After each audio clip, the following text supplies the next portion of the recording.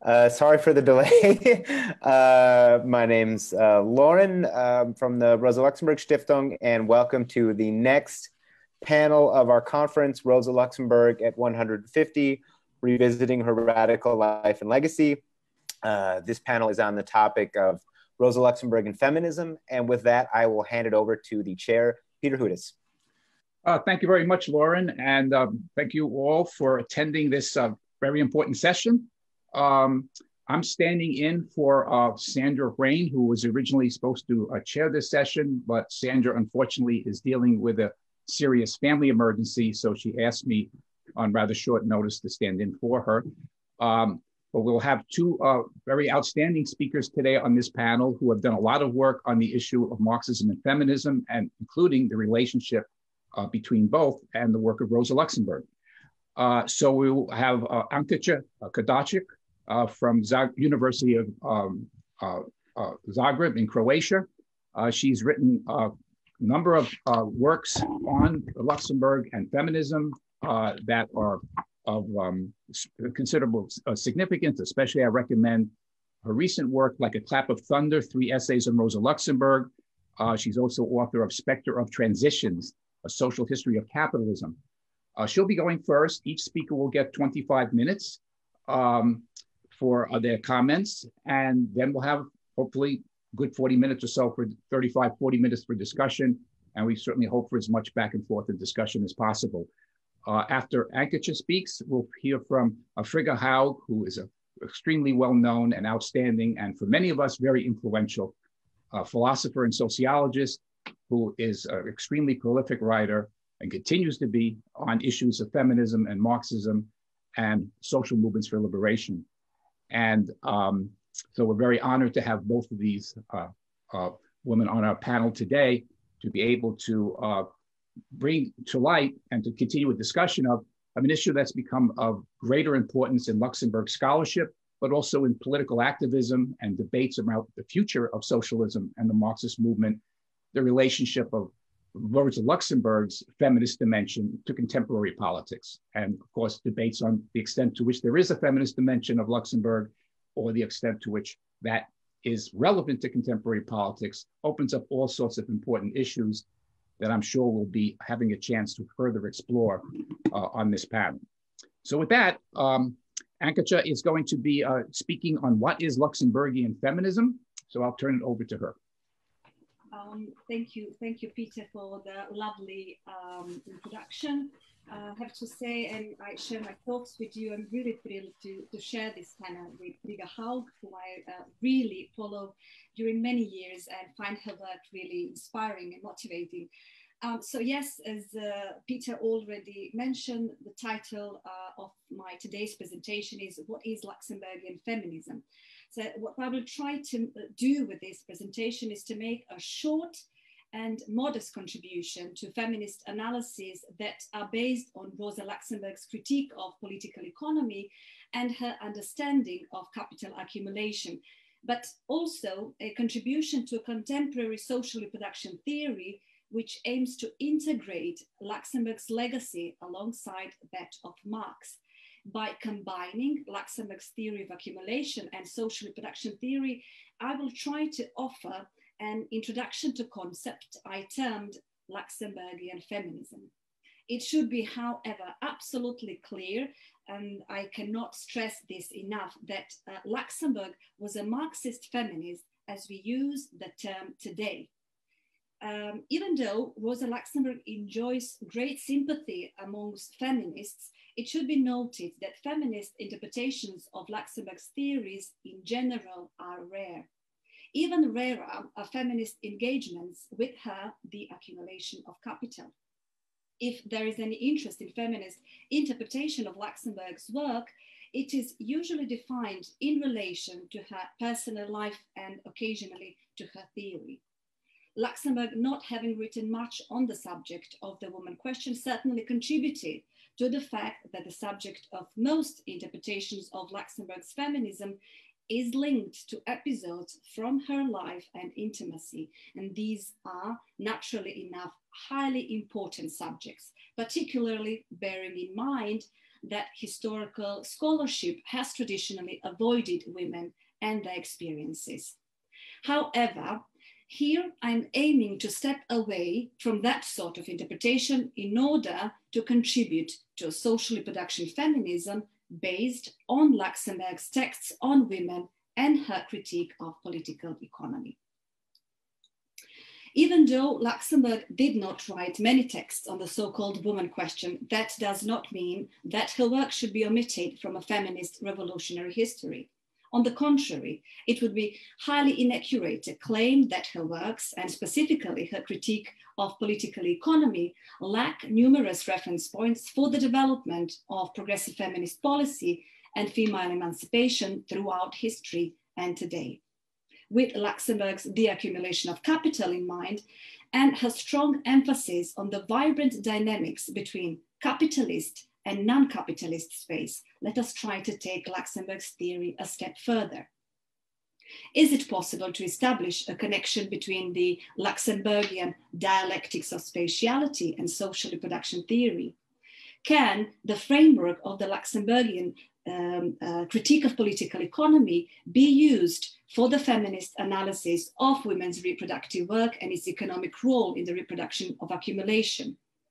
Although it may seem that both frameworks function as independent analytical elements, the contemporary methods of capital accumulation and women's reproductive labor are two united, interconnected processes.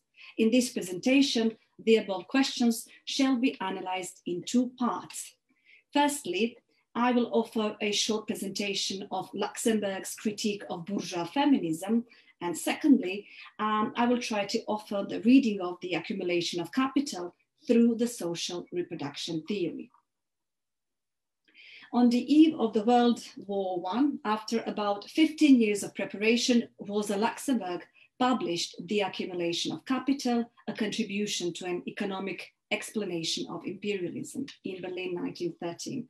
Her most comprehensive theoretical work and one of the most relevant and original classical works of Marxist economics. Briefly put, the accumulation of capital sought a way to scientifically study and explain the conditions of capitalist monopolization, extended reproduction and imperialism, while taking into account the dynamic relation between capitalist and non-capitalist spatiality. With this book, she somehow realized that Marx's theories are not the last word, but should be treated as great inspiration. Luxemburg held that Marx had neglected capitalist spatial determination while in his critique of capital, he had centered exclusively on time, i.e. the temporal dimension of the internal dynamics of capitalist reproduction. In contrast, Luxemburg sought to show that capitalist inner core consists of the drive to consume what is external to it, non-capitalist strata. Luxemburg's goal was to articulate her own theory of extended reproduction and critique of classical economics, which would contain not only a temporal, but also a spatial analytical dimension. This spatial determination of capitalist accumulation, the relation between capitalist and non-capitalist strata, Peter Hudis has named dialectics of spatiality. The moment the accumulation of capital appeared, friend, friends and enemies alike piled sharp criticism upon Luxemburg. She collected all the critics and immediately replied in her anti-critique, stressing how no other Marxist book received such harsh reviews as her accumulation. She wrote, quote, such a fate has befallen no other party publication, as far as I know, and over the decades, social democratic publishers have certainly not produced all gold and pearls. All these events clearly indicate that, in one way or another, there have been passions at work other than those of pure science. End of quote. Even Lenin stated that she distorted Marx, and her work was interpreted as a, vision, as a vision of Marx, in spite of the fact that it was Luxemburg who mounted a vehement attack on the revisionist tendencies within the German SPD. Although the accumulation of capital was met with severe criticism upon publication, it was not only her work that was criticized as ostensibly suspect in its Marxism. These critics often used cheap psychological and conservative naturalizing arguments that were meant to undermine the credibility of Luxemburg's work and expose it as an inept and insufficiently acquainted with Marxist texts. A good example of this type of criticism is provided by Werner Sombart, who stated in his Der proletarische Sozialismus, quote, the angriest socialists are those who are burdened with the strongest resentment. This is typical. The bloodthirsty, poisonous soul of Rosa Luxemburg has been burdened with a quadruple resentment as a woman, as a foreigner, as a Jew, and as a cripple. End of quote. Even within the German Communist Party, she was dubbed the syphilis of the Comintern, and Max Weber once assessed Rosa Luxemburg as somebody that belongs in a zoo.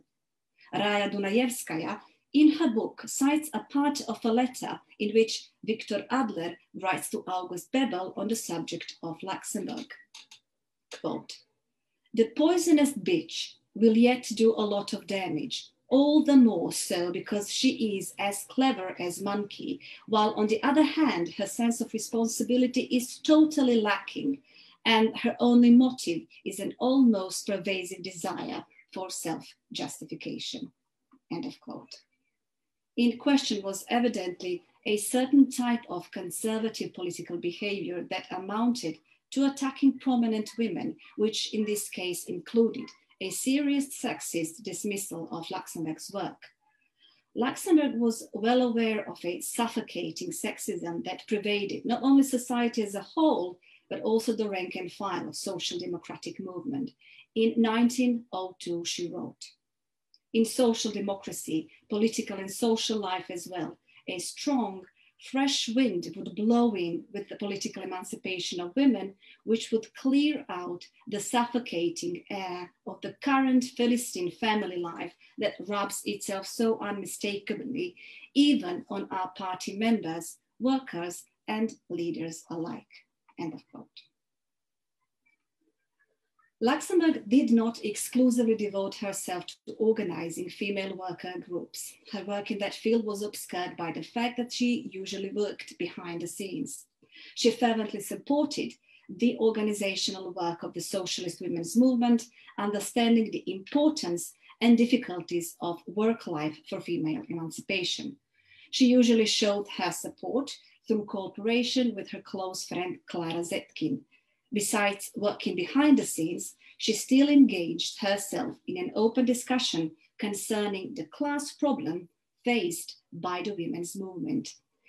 While speaking about Luxemburg's work on woman question, we are actually restricting ourselves to the several known texts and speeches from 1902 to 1914. Russian women workers in battle, a tactical question addressed to the International Socialist Women Conference, women's suffrage and class struggle, and the proletarian woman. In women's, in women's suffrage and class struggle, Luxemburg criticized bourgeois feminism and as certainly pointed out, quote, if it were a matter of bourgeois ladies voting, the capitalist state could expect nothing but effective support for the reaction. Most of those bourgeois women who act like lionesses in the struggle against male prerogatives would trot like docile lambs in the camp of conservative and clerical reaction if they had suffrage, end of quote.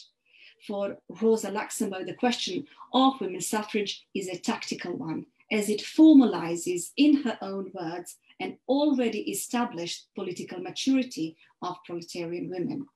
For Luxemburg, liberal rights do not arise as a reflection of actual material social conditions. They are merely set up as abstract and nominal, thus rendering their actual implementation or application impossible, as she contemptuously argued. These rights are merely formalistic rubbish that has been cutted out and parroted so often that it no longer retains any practical meaning. End the quote. In Luxemburg's opinion, the role of bourgeois women is very important for the reproduction of the capital as a whole because it maintains an active presence in perpetuating the established social relations, she writes. Bourgeois women are parasites of the parasites of the social body and co-consumers are even are usually even more rabid and cruel in defending their right to a parasite's life than the direct agents of class rule and exploitation. End of quote.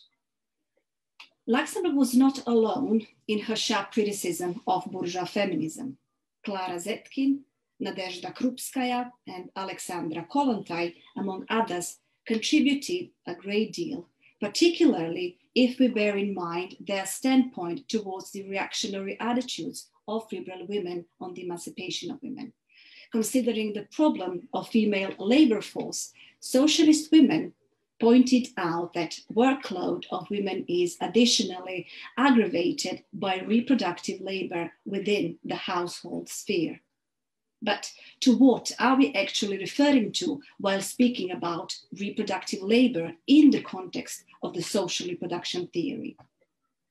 Historically, the reproduction of the working class is undertaken by women outside the productive sphere and is unpaid. It essentially refers to three interconnected processes. First, the regeneration of workers and their livelihood. Second, the maintenance of non-workers, which relates to the care of children, the elderly, and the unemployed in general. And third, childbirth as the reproduction of new labor force.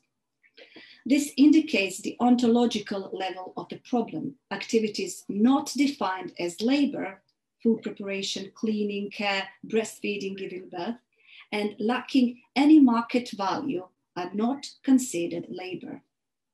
The aims of social reproduction theory are to analyze phenomena that are hidden in the production process, to inquire into the mode of process that enables the worker to attend their work, to investigate the conditions of the worker's existence, and to examine the social processes that relate to these conditions. All these questions were absolutely clear to Luxemburg. For an example, in a speech from 1912, she differentiated between labor in the market sphere and the labor in the household sphere, thereby laying the foundations for what I would like to call the early social reproduction theory. And allow me to read a longer quote. This kind of work, bringing up children or housework, is not productive in the sense of the present capitalist economy, no matter how enormous an achievement the sacrifices and energy spent, the thousand little efforts add up to as long as capitalism and the wage system rule, only that kind of work is considered productive, which produces surplus value, which creates capitalist profit. From this point of view, the music hall dancer whose legs sweep profit into her employer's pocket is a productive worker, whereas all the toil of the proletarian women and mothers in the four walls of their homes is considered unproductive. This sounds brutal and insane, but corresponds exactly to the brutality and insanity of our present capitalist economy. And seeing this brutal reality clearly and sharply is the proletarian women's first task. End of quote. Following this quote, let us try to propose several key features of so called Luxemburgian feminism the crucial question which leads us toward that goal is what is the connection point between Luxemburg's theory of accumulation and social reproduction theory? And the short answer is the commodification of domestic labor. Only when a large part of the population is dispossessed and forced to sell its labor power on the market, including the female workforce, it is possible to talk about the systematic processes of capital accumulation. Exactly in this line of understanding, in her accumulation of capital, Luxemburg quotes Marx.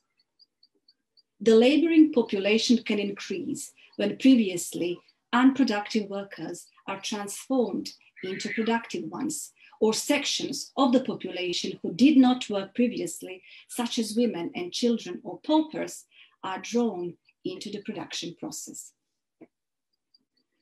The market, in order to accumulate capital, is maintained by spreading to non capitalist spaces, integrating into the productive sphere populations which were not traditionally part of the market.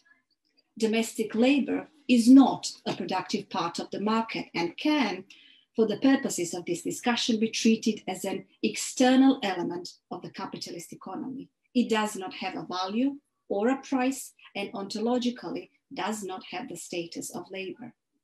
The commodification of domestic labor could, in the Luxemburgian framework, be viewed as a typical example of the expansion of capitalism into a non capitalist field. From the early 1970s onwards, social welfare was increased through the inclusion of household in market circulation. A whole variety of economic activities were concentrated around domestic work, care, and similar services previously offered in a non capitalist manner.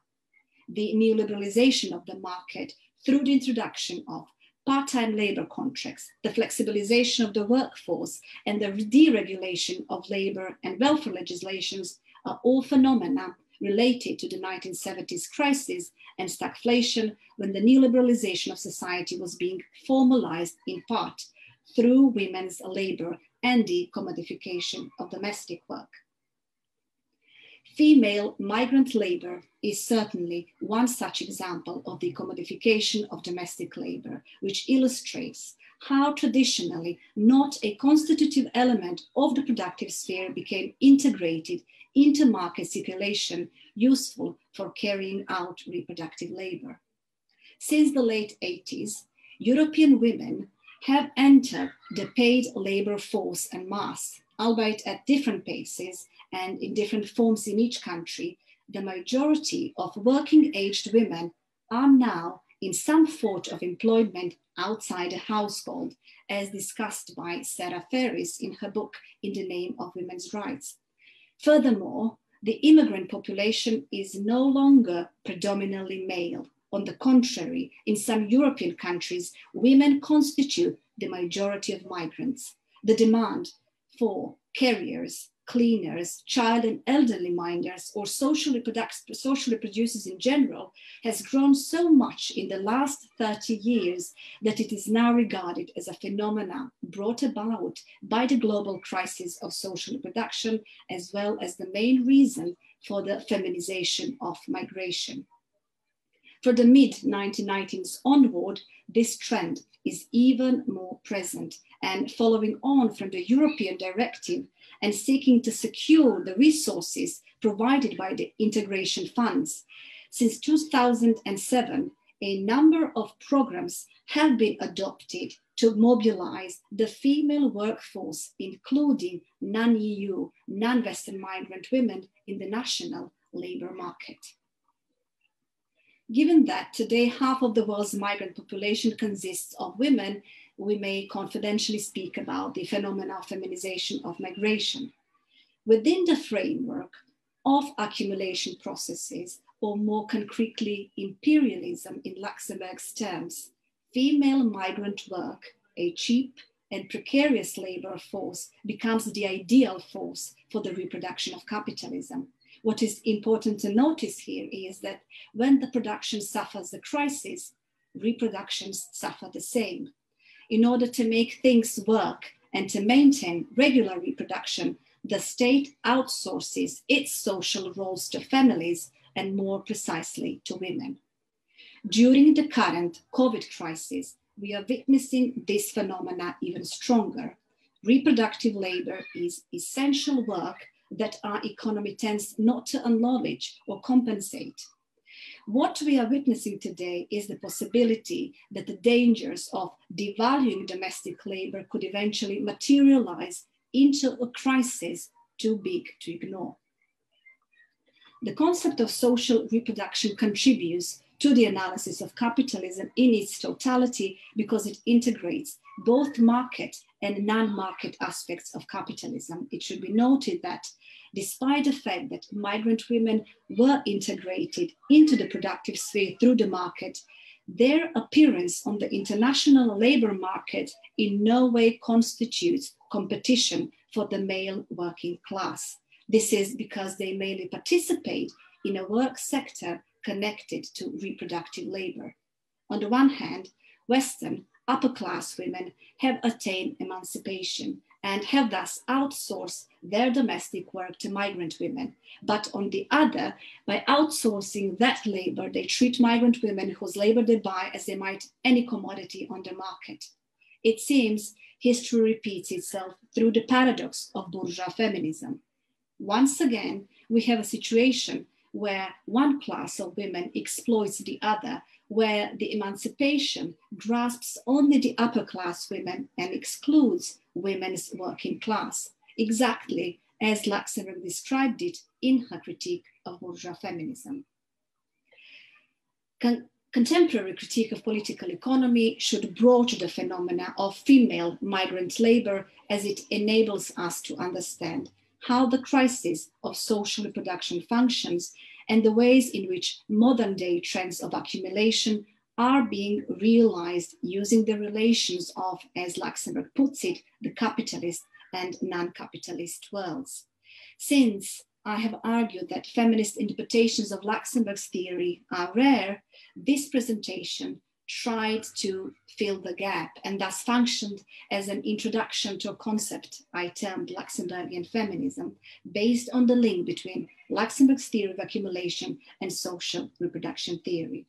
As capitalism successfully exploits gender for the purposes of the class interests of capital, we are facing an important task of designing anti capitalist strategies based on the resistance uh, to the market and its reproduction, thereupon focusing simultaneously, unitarily on the domestic sphere and reproductive processes within the framework of the capitalist mode of production, at a time when systematic analysis of the relation between the market and the state, either at the national or international level, are necessary starting points for a discussion of any short or long-term alternatives to the capitalist mode of production, Luxemburg's dialectics of spatiality and her connection to social reproduction theory, especially in the terms of migrant labor, seem to present not only a valuable introductory reference, but also the political model well suited to organizing alliances among parallel structures and aligning their progressive goals. Thank you very much for your attention. Thank you, thank you very much, Ankica, for a wonderful presentation. That was exactly 25 minutes uh, and uh, has a lot of ideas in there, I'm sure, for people to uh, take out uh, and discuss um, in the discussion. I think we'll take our next speaker uh, and then we'll take questions on both talks at the same time. Does that sound okay to everybody? Right. Um, so I'm very honored uh, to present Frigga Haug as our, our second speaker.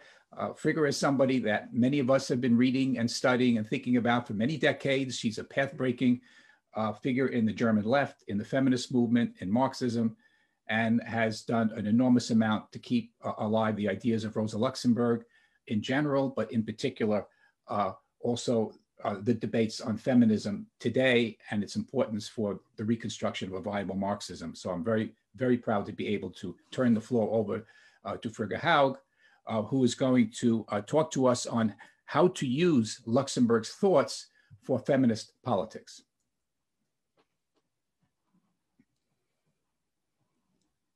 I think you're still muted, Frigga. So you need to unmute. Okay. I did it with my fingers. it's okay now? Perfect, yes. Thank you.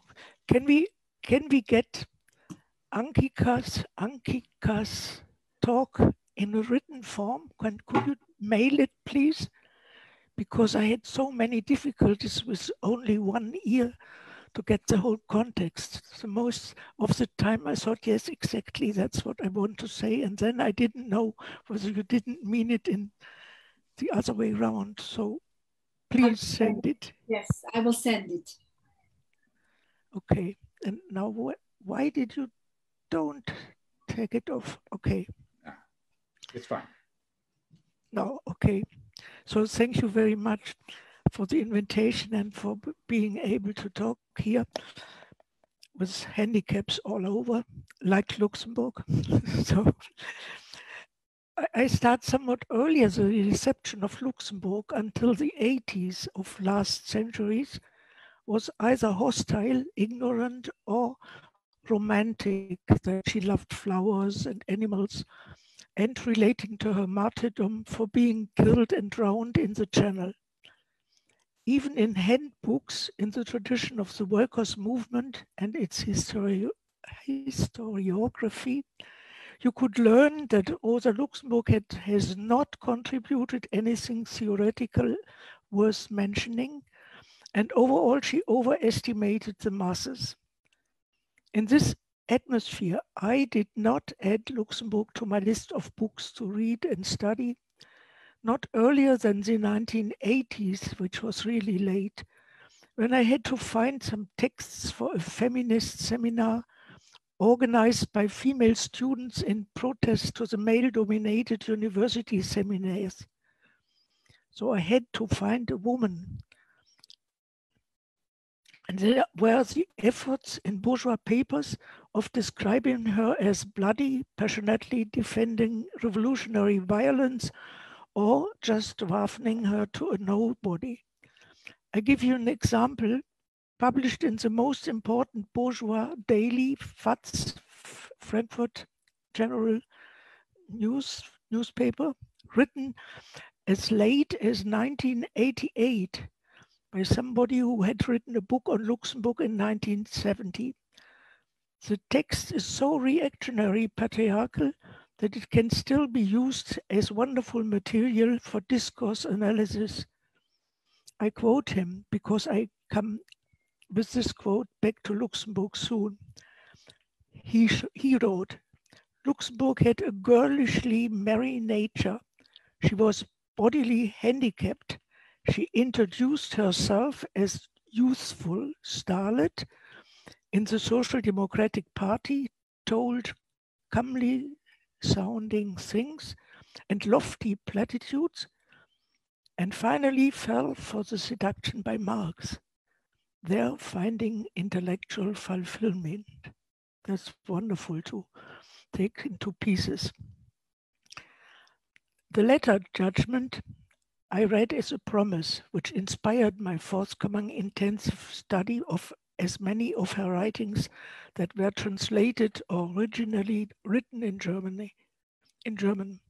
Most of them written for newspapers and then the elaborated ones like Crisis of Social Democracy and the Accumulation of Capital which rendered me into her follower, more and more enthusiastic, having never before read a theorist who had understood Marx's ideas and theory in such a perfect and lively way.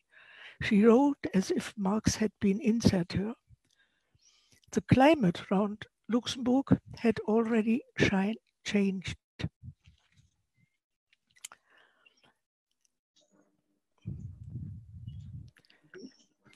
for many. In the late 80s, by Magdalena Trotta's highly emotional movie in favor of Rosa, this was in 1986.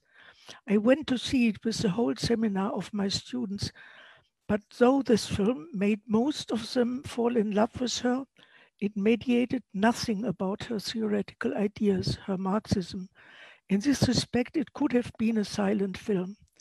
It is certainly no short way to learn enough of her political ideas. So I will give a short introduction into her political theory, which grounded her politics. Since you learned to know Rosa Luxemburg from the first quote from this bourgeois daily, I give you an example of her own style of writing in the political field as a contrast and different introduction into her as a political author by quoting one of her very few, very few descriptions of the fate of women to compare this with the former judgment of a juvenile platitudes. Do you pronounce it platitudes? now, Luxemburg. The workshop of the future needs many hands and an ardent breath. A world of female misery waits for salvation. There is the groaning wife of the peasant almost breaking down under the burden of life. There, in German Africa, in the desert of Kalahari, bleach the bones of the defenseless women of the Hereros who were chased into the cruel death of hunger and thirst by the German marauding soldiery. On the other side of the ocean, in the high rocks of the Putumayo, the death screams of tortured Indian women in the rubber plantations of international capitalists go unheard. Proletarian women, poorest of the poor, most lawless of the lawless, rush to the fight for the liberation of the female sex and the humankind from the horror of capitalist domination. In contradistinction to the legend about her, I learned to know her as a theorist who is analytically strong and prospective, innovative and indispensable. She te teaches us the importance of self-criticism and the danger of bureaucrat bureaucratization. I'm not born no native English speaker. You did it perfectly. bureaucratization of politics is the greatest danger. Marx's way of thinking to see the crisis and contradictions as possibility of development is adopted and carried forward by her.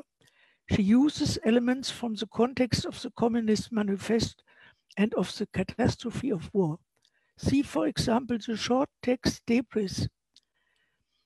Very short, but each war does not only destroy physical goods, not only material cultural values, it is simultaneously an unrespectful rebel against established concepts, old sanctuaries, worshipped institutions, believingly repeated formulas are thrown onto the same rubble heap by an iron broom on which the remnants of the cannons shot to pieces, guns, knapsacks, and other waste of war are deposited. In very short, accurate wording, she formulates a world of insights and offers them like old wisdoms, wisdoms which everybody can understand. For example, receiving the following sentence. For the bourgeois woman, her home is her world. For the proletarian, the world is her home. And you can easily continue the consequence that the new task for women grows into making the whole world livable, livable and homely.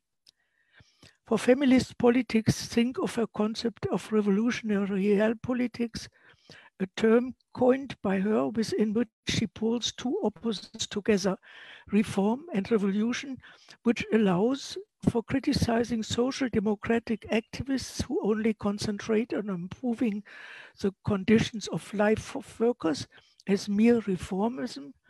On the one hand, and simultaneously those who only fight for revolution in the name of another society as revolutionarism, while she proposes a different politics. She introduces it in her essay on the 20th anniversary of Marx's death in 1903 as a rupture with politics so far, and as a passionate Marxist, she gives her own politics this name. She shows that those who fight for better conditions of life make themselves the speakers for the workers, develop an apparatus, and ossify in bureaucratic structures, and in the long run defend a politics of preserving prosperity, and thus make themselves safeguards of the existing social, existing social relations. But these are capitalist ones, and with its goals of growth and profit in themselves revolutionary, as Marx has carefully analyzed. They hurry the development of the productive forces along. All that is what is stationary and solid vaporizes. Nothing remains as it is. The mode of living, morals, virtues, values, the plans for family, profession, security, and possible future are constant, constantly inside out. In its structures, society tumbles from crisis to crisis, covers the whole world with wars in search for raw material and markets for sale, thereby transforming non-capitalist modes of production for their own existence into capitalist ones, which um, Ankica already spoke about it. We, we call it now land grab. Formerly we called it colonization, but it's more modern to call it land grabbing, Landnahme. The critique of these processes in Luxemburg's approach is necessary as enlightenment. But this is not enough. A vision is also necessary as a utopia, a perspective which transcends the capitalist society. From there, the relevance of all actual politics, what she calls short-term objectives, have to be determined from a point which she calls long-term goal socialist politics, which do not start with the conditions of life of the working, omit the position of the working class in an utopian enthusiasm.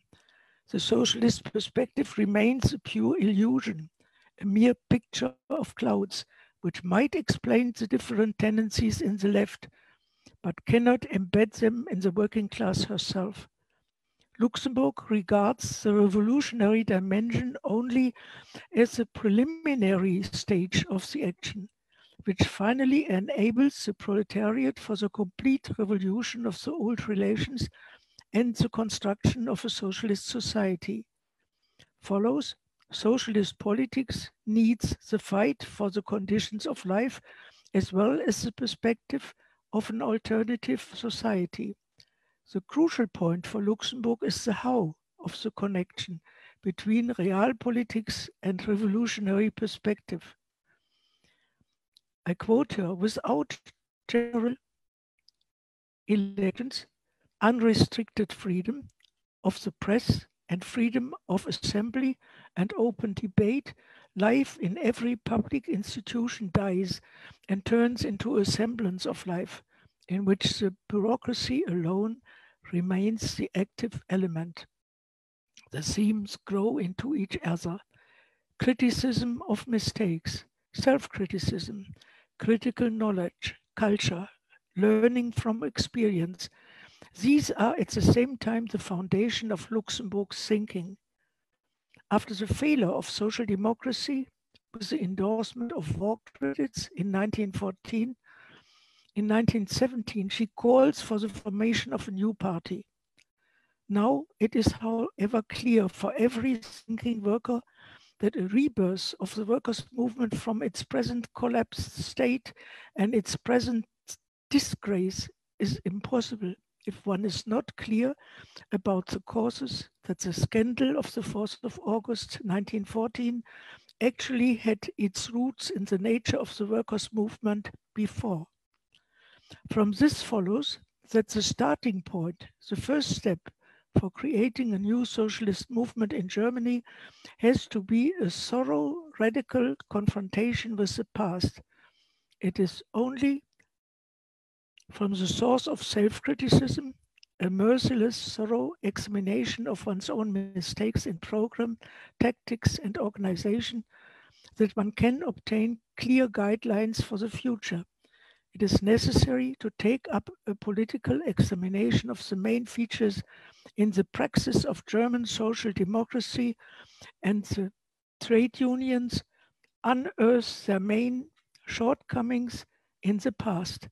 For Luxemburg, the main mistake is the paralysis through passivating bureaucracy as a threat to democracy. So Luxemburg writes, only experience is cap capable of correcting and opening up new paths. Only unrestrained, bubbling life strikes a thousand new forms, improvisations, gains creative strengths, corrects all mistakes on its own. Otherwise, socialism would be decreed and imposed from the green table of a dozen intellectuals. A new society, points out Luxemburg, cannot be reconstructed according to the old recipes it needs the experiment. It is one such experiment. Luxemburg calls for writing also history as a work of common people. The entire human culture is a work of social interaction of many. It is the work of the masses. This history of mankind teems with sagas, great deeds of great men. It echoes the fame, fame of wise kings, brave generals, daring, discovering travelers, genial genial interventors, and heroic liberators. At first glance, all good and bad, the fortune as well as the misery of the masses is the work of individual rulers of great men. In reality, it is the people, the nameless masses themselves, who create their own destiny, their happiness, and their woes. To summarize, her proposed praxis of socialist politics is enable the working to shape their society to rule it. From this point, you can decipher the connectedness of her political thinking and in consequence the topics and emphasis she elaborates. It is politics from below, therefore determined by the idea that if that it is the working people themselves who have to take their society into their own hands. This starting point makes her the imperative, imperative affiliation for the new social movements and first of all the feminist. She rethinks the Marxian heritage and states that it is much more than what the working class needs right now. For them, the first volume of Capital would be enough.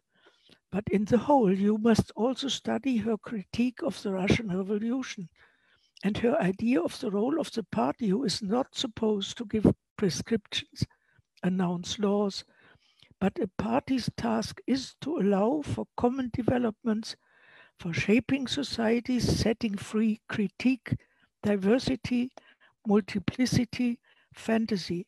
And what she calls education or training means organize experiments, allow learning by doing.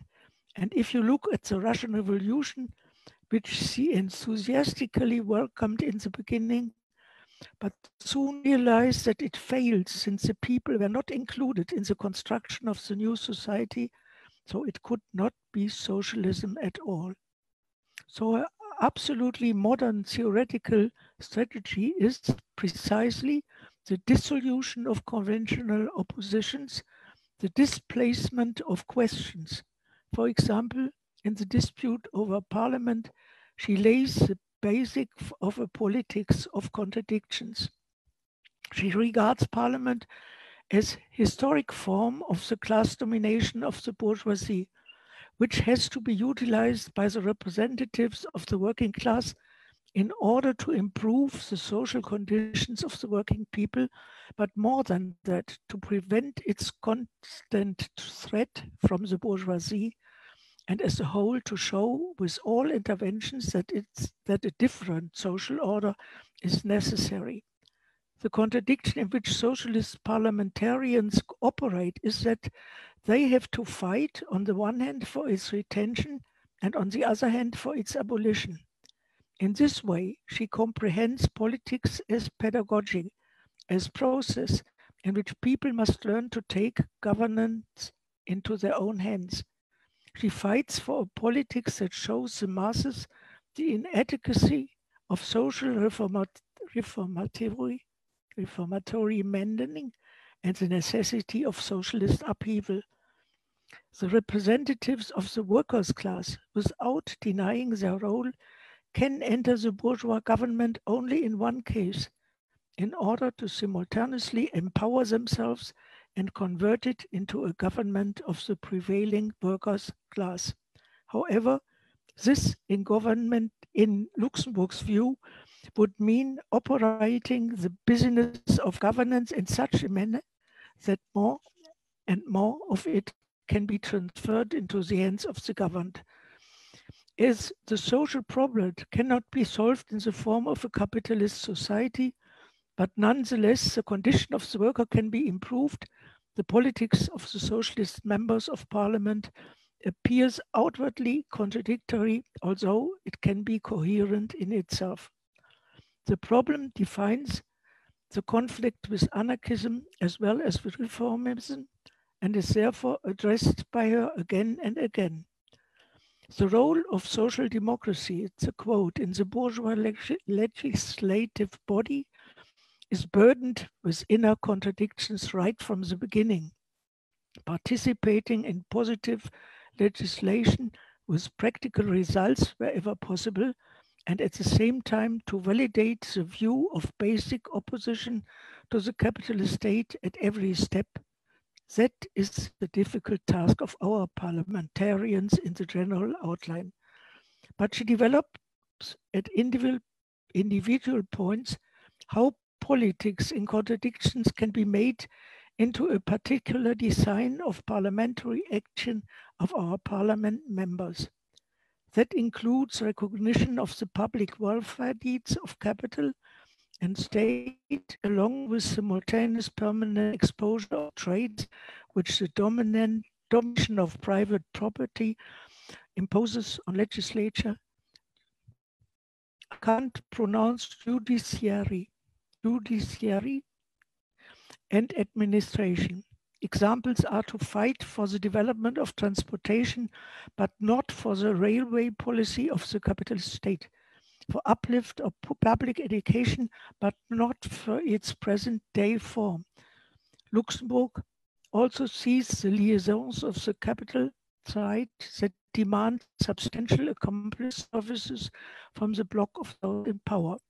Here, wish lists are prepared for the state regarding economic legislation, transportation, railway traffic, and public services, all for the benefit and advantage of the capital.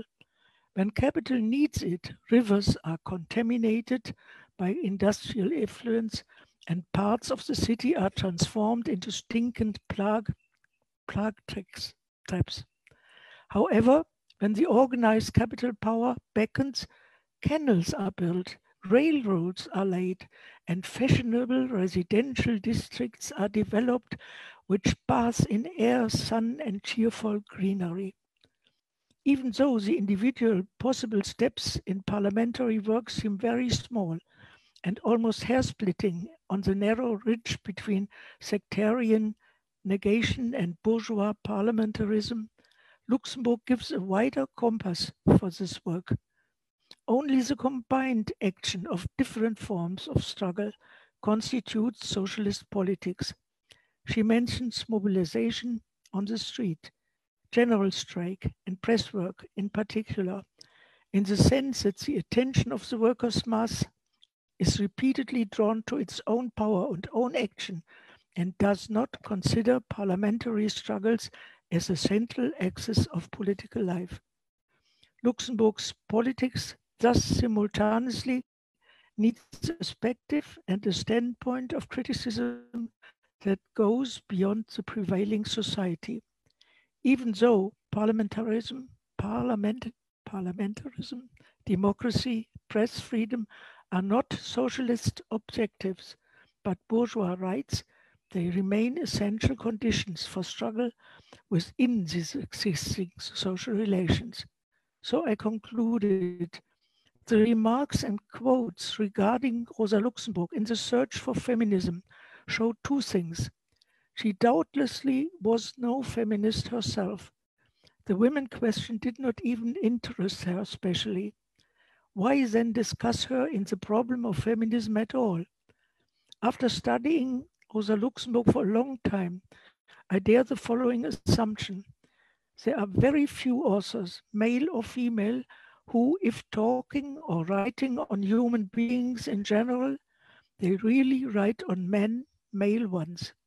In bourgeois science and politics, usually women disappear from history in the form of generality. This is not the case concerning Rosa Luxemburg, since she relates to the experience of the working people. She succeeds in writing in this higher form of generality which can render Marxism and Marxist thinking really alive and vibrant. Therefore, we can learn from her that the inclusion of women as humans cannot be a special additional subject in the critique of society and its theories, but demand of any knowledge and politics to really speak in general terms in standpoint and perspective. Thank you. Thank, thank you very much, Frigga, for really remarkable and moving comments on uh, Rosa Luxemburg's legacy. So the time is now for discussion. Uh, and we're looking forward to as much questions and back and forth as possible. We've had some start to come in on our chat function. So I'll read out a few that have come in. Um, and um, one is, uh, first of all, there is um, the question of what would a confrontation with the past of social democracy mean? And how can we ensure that these mistakes are not repeated? So it's what would a confrontation with the past of social democracy mean for today, and how can the mistakes uh, made in that in the past not be repeated? Um, Frigga, would you like to start first, maybe? I didn't even understand this question. What mm-hmm. can? Uh, the question is, uh, Frigga, I'm sorry. Um, what would a confrontation with the past of social democracy mean? And how can we ensure that the mistakes of social democracy in the past are not repeated today?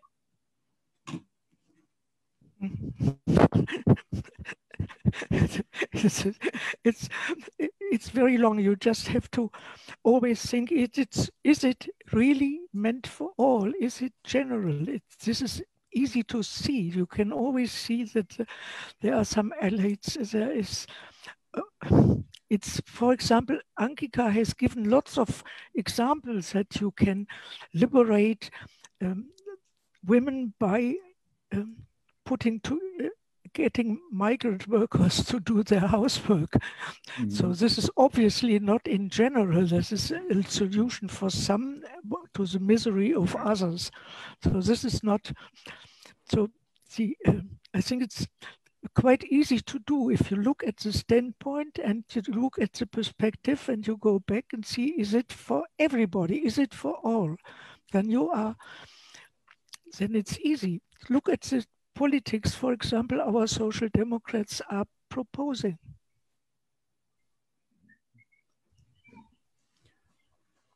Ankica, did you want to jump in here?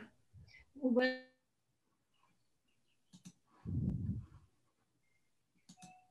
I would probably uh, second the opinion of uh, Frigga.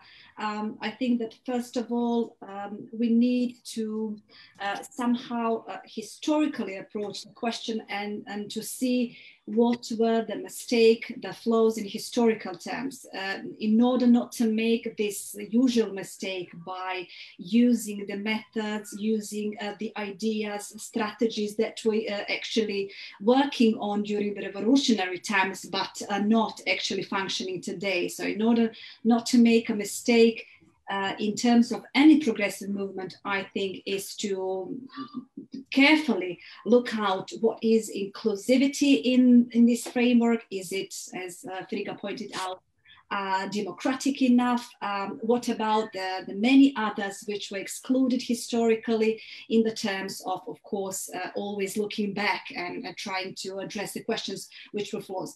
But this is a really hard question in terms of the, the historical fail, fail of, of social democracy, because today we are still holding up you know, uh, trying to reach its progressive goals, reach its uh, useful strategies. But then again, we are witnessing the, the, total collapse of social democracy in Europe. So it's a difficult question, and I think I, am not capable of answering that shortly. Yes, maybe just in, in, in terms of wishful thinking. Another question that has come in is uh, for both of our panelists is can you recommend a concise text or speech from Luxemburg that best represents her feminist social critique? Uh, because the questioner would like to read it in class with her literary studies uh, students in a section on intersectional feminism. So it's a question about recommending a concise text or speech from Luxemburg that best shows her feminism? Um, I, I, think that this is really an easy question because unfortunately Rosa Luxemburg didn't write many texts on the woman question. So uh, we located uh, so far just five texts and I can uh, repeat again which are those. So Russian women workers in battle, tactical question addressed to the International Socialist Women Conference, women's suffrage and class struggle, and the proletarian woman.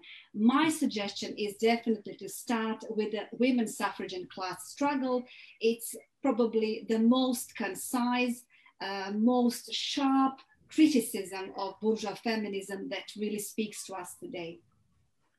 And I could add that uh, four out of those five writings that have just been mentioned uh, are found in the Rosa Luxemburg Reader. Uh, we put in a section on it on Luxemburg's writings on women. And the first piece, uh, A Russian Woman in Struggle, uh, is published in volume three of the complete works of Rosa Luxemburg that was published by Verso last year. Uh, that's being translated from German, yes. That's right. That was translated from the German. Yes. And that's in the Gesammelte Werke. Uh, yes. But months six, I think. I think six bond. Yes. Yeah. Mm -hmm. yeah. Thank you. Then this very short one on the proletarian woman. It's yeah. one and a half pages and it's full of insights. It's very good for class mm-hmm. word by word because for example i did it in a in a class and we were sort of hostile because her image of the proletarian woman in singing in between washed, washed, things in the rocks and was in the middle of the war. It all sounded so old-fashioned. But then all of a sudden, all of them stepped in and said, no, she's not talking about single women. She's talking about the whole class. And they, they sort of developed out of one and a half pages the whole wealth of her analysis in this case. Do you know this text is one and a half page, easy to read, yes. and it's really it's really good because it sounds old-fashioned in the beginning with these scarves on their heads and singing in, in, among baby baby wash and so on. But then it's it's really it's really astonishing in the inside of the different classes. This is the one where which ends at the bourgeois woman has her home as her goal, yeah. and as the proletarian has the whole world as her home. Mm-hmm. Thank you. Okay, uh, there's a, a question for Ankica. Uh, it's please tell us more about the connections between Luxemburgian feminism and your political theoretical aims and commitments in your book, Spectres of Transition. Well, that's that's uh, an ongoing project. Uh, that's an interesting question, and, and, and thank to the person who uh, actually posed it. Well, uh, the answer is uh, also rather a short one. Uh, what I tr try to do in my book on spectres of transition, transition was to analyze um, the transition from feudalism to capitalism. So my starting point is Marx, especially in terms of the so-called primitive accumulation of capital. But of course, there are many reference points in Rosa Luxemburg, especially when I discuss the problems of dispossession, the problems with the nature, the problem of the methods of colonialism and imperialism, and all those are ex uh, excellent starting points, I think, to uh, maybe envisage more the problems of transition from feudalism to capitalism, not just strictly in Marxist terms, but also in uh, Luxemburgian. And what I also try to do there is to offer a political Marxist approach to transition. But then again, even though at some point the accumulation of capital is um, especially at the end in, in, uh, in sketches, it still has many explanatory models in a way which explains how capitalism functions concretely in, in, in space, in spatial matter. And that's why I envisage uh, all the problems regarding uh, the land, uh, the dispossession of the, uh, um, uh, the expropriation of the land, and that were all the, the, the, the starting points by connecting Luxemburg's theory of accumulation correlation on the one hand, and of course, Marxist, I would say, political Marxist classical approach to the problem of transition from feudalism to capitalism. Okay, thank you. Okay, we have a question for Frigga, um, which thanks you for the great paper and experiencing uh, uh, your biting the dragon that is doing Zoom. Uh, the question is, what is the source from Luxemburg concerning her position on uh, parliamentarianism? And since there is action nowadays in Israel, uh, what can be the correlation between activist grassroots politics and parliamentary politics? The relationship between grassroots and parliamentary politics. Say the beginning sentence again. The relationship between between uh, between uh, grassroots activism and parliamentary politics. What is the relationship between them? That's easy and, and difficult at the same time because parliamentary, the parliament is obviously the bourgeois parliament with all the different position, won by the bourgeoisie against feudalism. So this all have to be kept because without them, nothing will be possible. So and now you now you have the left or the proletarians are not on the on the stage. You have the left in parliament. So what are they going to do? They have this very difficult task to to protect and defend parliament and parliamentary rules against its destruction by the bourgeois themselves. So and and in this way they always defend a parliament which they obviously want to get rid of in the end. So that's a very contradictory position. But she but she recommends that you just you must be clear about your own goals about the perspective that, and the, the only solution I see to, to dissolve this contradiction, the only possibility is that you use this all the whole time to educate the people and the masses, to show, to enlighten, to develop new ideas about how it should be, could be, how to learn about it. And all the time, she's sort of idealistic. She thinks all the time you could educate the masses to take government into their own hands by by um, by questioning it. You must develop alternative thinking at the same time. So you defend it against bourgeois rupture or against the, the ideas of the bourgeoisie to get rid of parliament because after having used it, used it to defeat feudalism, they don't need it any longer. They want to get rid of all its rules. So you have, as a leftist, have to defend it all the time.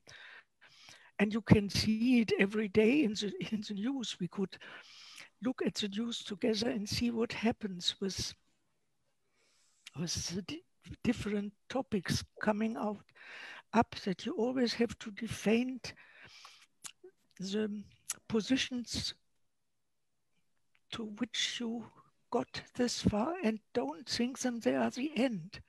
They are only steps.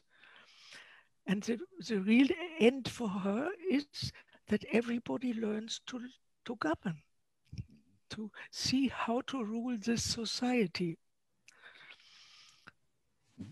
Thank okay. you very much. Excellent. Uh, there was another question on parliamentary democracy from a friend from India who asked, how can parliamentary democracy, how can we insert Rose's ideas into debates on parliamentary democracy, which I think you just addressed so well. Uh, Ankica, did you want to add anything to that or um, respond to the friend from India all? It's it's really similar to the first question, but uh, I think that uh, we might underline once again that the questions of uh, democracy, um, education, social and workers' rights will definitely be something that we should look upon, uh, which seems quite eh, like like a cliche when you say, "Oh, uh, we are fighting for workers and and um, workers' rights and, and their social and material rights," but I think that has to be inscribed both in formal politics and on some sub-political level. That's something that we're missing. And I think this is the, the exactly the point should be uh, inflicted in the, um, as the question asks, um, uh, in parliamentary, parliamentary democracy. But of course, as we know, uh, she was more up to um, um, um, uh, organization which is more on, on, on federal um, um, levels and more direct. So if we want to have a, a politics in in formal terms, I think Rosa Luxemburg would always insist we also have to have that on sub-political level in committees, in many different uh, uh, workers' parties, or for instance, in, in women's organization and so on. So democracy is not just something that is based for a uh, formal politics for parliamentary democracy, but also for something that works, I think, on sub-political level. Thank you. Uh, Peter, if I may interrupt, there was a yes. question from Kate Evans. Uh, ah, okay. And it, it, was, uh, I think it's quite a concrete one, which somehow, okay. if I may answer to that. Um, okay. It's the, it's an interesting question, and I found that quote in Bulajic. Uh, he a Yugoslav author, and I have to say that uh, we in Yugoslavia translated the accumulation of capital already in 50s, and some of her letters uh, already in 20s. So uh, what I wanted to say is that it refers perfectly, I think, to the section that Dunayevskaya called a creeping, creeping phenomena in the revolutionary parties. It was a kind of dismissal of women who were not just politically active, but also on theoretical field and, and, and everything else. So yes, uh, actually the quote is from Bulajic, and it, uh, I think, rings the bell quite uh, closely to that uh, of Max Weber, uh, who assessed Rosa Luxemburg as somebody that belongs in a zoo. Yes. Thank you very much. Okay, we do have another question that's uh, interesting question that's been posed, which is um, uh, can we consider that the feminism of Luxemburg is not only in her writings, but also in the way she acted inside the international social democracy of her time as militant, theoretician, propagandist, and journalist? As theoretician? As theoretician, propag- uh, the question is can we consider that the feminism of Luxemburg is found not only in her writings, but also in the way she acted inside the international workers' movement as a militant, as a theoretician, as a propagandist, as a journalist? Definitely, definitely. And I think that uh, traditional feminist engagements with Rosa Luxemburg were actually one of those. So when we celebrate Rosa Luxemburg today in feminist terms, I think that we're usually defining her as an, I don't know, a heroine or icon because she was brave, because she was uh, without compromises, because she was on the first line. But I think that um, uh, besides that point, that we really explored many times in not just in feminist terms, but generally speaking, I think that we also need a kind of theoretical approach in feminism, which suggests some starting points that are actually driven not just from the politics but also political economy so i think that uh, this is a valuable point but beyond the uh, descriptions of somebody um, political everyday life i think that the theory also speaks for itself it's it's somehow it's somehow um, also I agree with you, but then there is somehow something very general about her. She thinks she thinks a lot of the masses and she wants to bring them, for example, the bourgeois culture that they also can read all these wonderful uh, works and and reform the schools and that they don't have to work so long so that enough time for the children to get educated and so on. I try to, to draw a line between her and Gramsci because it's it's they are very close together, but Gramsci in different from Rosa Luxemburg.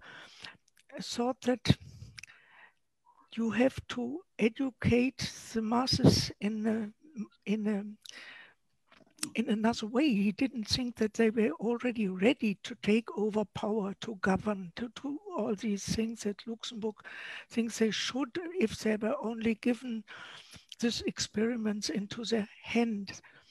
And she, she, she gave them the bourgeois culture. But Gramsci invented, how do you call it? Do, do you could could I suppose that everybody knows Gramsci? For example, he has something like a personality mm-hmm. theory where he says that all these people are uh, connect. They are. Um, they have their past and carry their past with them from very different roots and different traditions and different ideas, and they don't put them together in a coherent way. Mm-hmm. So this keeps them from really being able to take over like Luxemburg wants them to, to take over, to govern, to take over the power, because with one end they are reactionary, another they are in a fascist tradition, in another part they are just revolutionary. There are already people of the coming generation of science and so on. So they are they are put together and didn't didn't uh, was heißt Inventarvorbehalt? Peter, was heißt ohne Inventarvorbehalt? Um, they have inherited. Yeah, inher- yeah it, it's more like accumulated knowledge, accumulated knowledge over time, like a, a sediments of knowledge, intellectual sediment, intellectual sediment. Yeah, they have inherited lots of mm-hmm. contradictory things that keeps them from being able to act they don't, they have to fight and put them together. So, but Luxemburg thought it would be enough to let them read the bourgeois culture, appropriate the bourgeois culture, and then with their heart as workers and coming from their experience as being at work, this would be enough for them. So there is there really is a sort of overestimation or underestimation of the power of, of past and, and reactionary societies to the hearts of and heads of the people and that you need a different politics in addition to this. So if you really compare Gramsci's politics cultural politics and hers, you can see that somehow she she didn't overestimate the masses as the bourgeois legend tells us, but she thought it would not be of such enduring influence. They could just strip it off and become this wonderful people of the future. And as soon as they have the ruling they have overcome the ruling class, they can rule themselves without this long process of become different persons. So it's really it's a, a big task to work with Luxemburg and with Gramsci at the same time, which we think I think we should do. Quite fascinating. Thank you very much. Uh, there's another question from the chat. Uh, It's a it's a big one. It says, uh, please explain the next step for women's freedom in the third world countries, in Rosa's view. In, in third world countries. Yes, underdeveloped world, uh, developing world, third world countries. What's the next step for freedom in third world countries based on a Luxemburg perspective? I think it's it's trying to ask what should be done for the freedom movements in the, devel- No, in the it's, developing it's world. It's almost like like what can we do to what what is missing before all of us take over the whole world? It's there are so many things to be done in different countries. The countries are different. When see for example the um, the example of chile. It was such a wonderful almost almost stepping to socialist ruling Mhm. after the after Allende or in the course of Allende and what it's now it's it's awful. It's in the beginning of wars and violence especially on women. So what can they do what are we going to do? I i once went i was invited to australia and so there i introduced memory work. Everybody was very enthusiastic and they even had a chair now for memory work. And so I also traveled to the north of Australia, to the indigenous people, and mm-hmm. started trying to tell them about memory work. It was absolutely hopeless because memory work presupposes a, a subject and they were not educated in being subjects themselves, but daughters or nephews, fathers in third generations, but they didn't, they had no eye, they had no bourgeois eye, which could be put together in this Gramscian way of being bizarre put mm-hmm. together and which we then could work with to get, to get to get a better idea of the world because there were no subjects. So we had to start even earlier. And so if we go to the underdeveloped countries, where do we going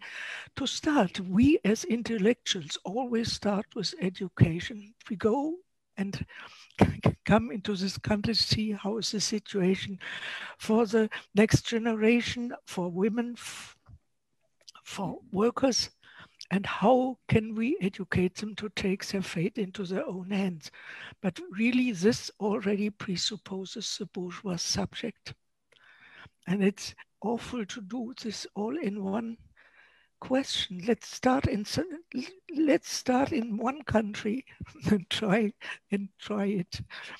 In our country, for example, I had I for, for a long time, I was always teaching in, Austria, in Austria, not always in Australia. This was only one term in Austria, lots of times. And I thought, oh, that's wonderful. I have almost convinced whole Austria. It's, it's so, so comely. I can see, I have it in my hands. Everybody is already thinking in, in the leftist way, taking her and his fate into their own hands and now they can govern their state and it's almost it's almost ready. So go back go back to germany it's more difficult. We have the east and the west and different so it's difficult but austria is easy. And then one year later the absolutely reactionary right won in austria so the majority of Austria was far, far from from Germany. so the, the question is too big. Maybe we better start asking everybody what's your what had you what did you learn? What's your specialty? What can you contribute to the world in the whole? So where do you want to go? What's the problem in this country?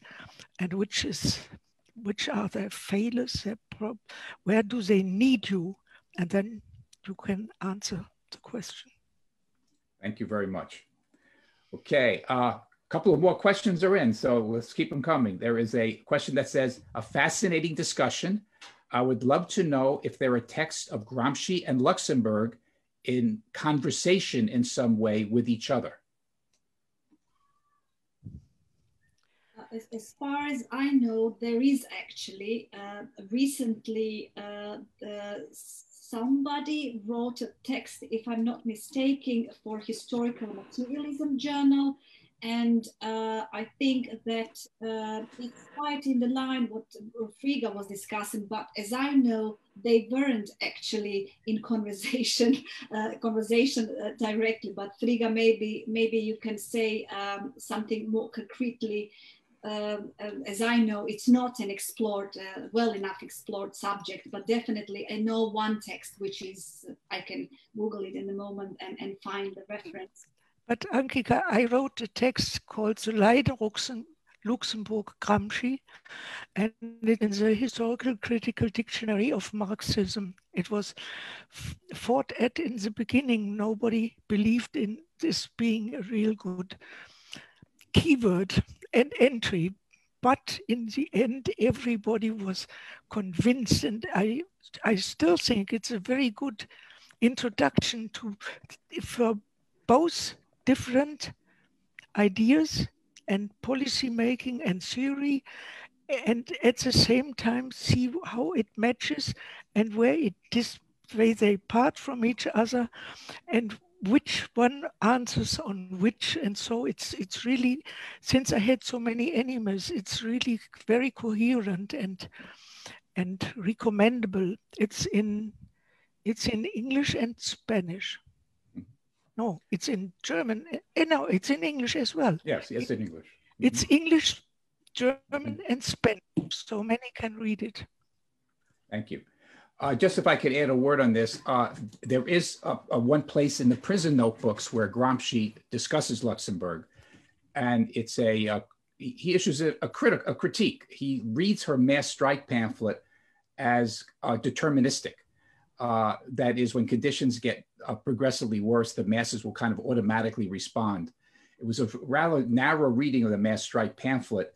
Uh, it's a passing comment that he makes about Luxemburg, and it probably was from the general discussion that was occurring in the communist movement of the time that when he went into prison in 26, where now the criticism of Luxemburg was, of course, becoming very predominant. They were trying to push out her legacy, the Comintern from the from the from the from the communist movement and one of the ways they tried to do so was to say that she was an economic determinist and therefore was not making room for uh, the uh, role of the party as what would be needed to lead the masses to victory, which is, of course, a myth.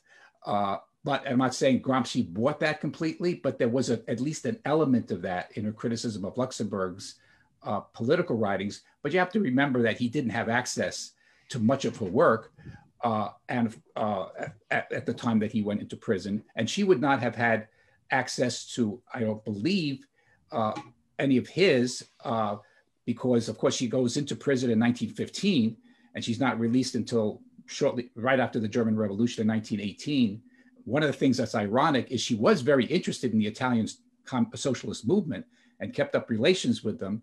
She did write a letter to a, somebody who Gramsci knew very well, who was a former comrade of his, uh, in October 1914, she writes a letter to Benito Mussolini when he was still on the left wing of the Socialist Party, and uh, uh, uh, telling him, uh, giving him suggestions as to how to organize an anti-war faction within the so- Italian Socialist Party. It was very shortly after that that Mussolini suddenly made this turn to national chauvinism and to the far right. Um, people forget often that Mussolini started out as an internationalist and a, and a leftist. So um, but I don't know of any other connections other than that. But thank you very much. Okay, we're going to have to be wrapping up pretty soon, unless anybody else want to. Was that a? Okay. Uh, there is a question here, um, uh, which is another rather broad one, but is how can we use technology to teach the masses if they can't find the time to read or if they're not literate? So, what's the role of technology in this? I go away for one minute. Okay, fine. Peter, one. That's minute. okay. That's fine okay, what to say? Well, uh, probably uh, technology to the people, the question of infrastructure in, in, in, in, contemporary times, and especially in terms of available uh, internet, I think it speak about uh, technology that might be useful in terms of uh, education, especially online education or something like that, which brings me again to a very similar question about technology and the emancipation of women, which is quite similar to that, I think, but uh, it doesn't uh, just uh, self-understandingly reflects the question. But yes, I think there are many different ways in which can we can use technology in a progressive way. Uh, but I say it's probably the question uh, of um, the infrastructure, the question of availability, uh, the question, the, the, class question. And I think that before we think in the terms of technology, I think we have to think about uh, um, uh, about the uh, education and the literacy, which is still a huge problem if we bear in mind that um, a huge majority of women in the world is still illiterate. So how can we speak about you know, technology, not taking into account the basic fact that people are still not, uh, uh um, uh, or many people are still not able, uh, able to read. Um, but yes, um, uh, the, the, question says the masses to hear if they can find the time to read. So I think that one of the, the, the socialist question is definitely to arrange more time. So this is a huge question in terms of the critique of capitalism and how it functions. What is the free time? What is the productivity and how to organize ourselves to work less in order for many masses to have more, not just in terms of wealth, but in terms of information, of course. Okay, well, thank you very, very much for those responses. Uh, this has been a terrific panel. Thank you all very much for the, for the presenters and thank you the audience very much. I will give Frigga and uh, just a, a, minute if you uh, wanted to say any final words uh, before we, we depart. Uh, but I just wanted to personally thank both of you, especially for the, not just what you've done here in this panel, but for the great work reaching back so many years. Thank you, Peter. Thank, thank everybody, Rosa Luxemburg Stiftung and International uh, Rosa Luxemburg Society, and many fantastic questions. Uh, I think this debate will probably be ongoing, uh, not just today, but even tomorrow. Many questions we opened today, especially in terms of the accumulation of capital, colonialism will be discussed more in some other panels. But yes, I will leave the floor, uh, the microphone uh, to Frigga Haug. Yes, thank you very much as well. Um, I would like to begin right now because I, I just think we are warm enough and have run long enough to now start on some on differences and, and what we all agree and which is for sure easy to agree with and where we want to go on and where our remaining questions are is how to use those different socialist theories in this world of commodities now where I'm, I'm very much astonished if I discuss with the next generation, over next generation, the generation of my grandson. Yes, it's already the generation of my grandson what sort of problems they discuss and how you have to overbridge this. I would have liked to know the age of those who have asked questions to see where they come from and what necessary bridges have to be built because I, I love teaching and I love being together with the next and over next generation and discuss with them and see what I, I agree that they have no time to read or that they're just always sitting at their handies and um, exchanging meaningless sentences. For example, I always had my grandson with me in all conferences. And because I couldn't travel on my own any longer, so he came with me and he was always sitting there with, with great, great uh, with big eyes and saying, oh, I understood everything now. Now I have understood this. I, I really want to study as well. And where do I study and what with what begin? And now he's he's asking me, can I help translating the best texts and which are the ones because he's mm-hmm. very good in languages. And he, he wants advice and I, I, I don't know this generation, but I would disagree that they don't have time to read or don't want to read or so. Mm-hmm. Depends on the culture they are in. For example, this grandson of mine always comes with at least a gang of youths, six or seven, discussing world problems and how to enter them and what they can do and so on. So there's a whole field for all of us to go on. Go Thank you very much. Our work. Thank you very much. And just I want to close by mentioning in terms of going on with our work and making work available, including work of Rosa Luxemburg, uh, there is a project underway uh, to publish the complete works of Rosa Luxemburg. Uh, three volumes have been published in English. Uh, it's a projected 17 or 18 volume series that Verso Books in London and New York is publishing. If anybody wants to help out in the project of, of making that translations possible to publish everything Luxemburg ever wrote in English translation uh, for international circulation, you might want to visit the Toledo Translation Fund. Toledo Translation Fund, if you type into a search engine, Toledo Translation Fund Rosa Luxemburg, uh, that's where you can make a donation if you so wish uh, to help cover the costs of uh, this ongoing project, which is going to consume us for quite a number of years to make everything available that Luxemburg wrote, uh, whether economic writings, political writings, correspondence, etc. Much, most of which has not yet appeared in English. About uh, at least three quarters of her actual body of writing. So I want to thank again everybody for a very uh, exciting panel, and uh, hope you uh, will stay uh, tuned to the rest of the conference because we have a lot of other interesting panels coming up the rest of today and tomorrow. So uh, thank you all very much.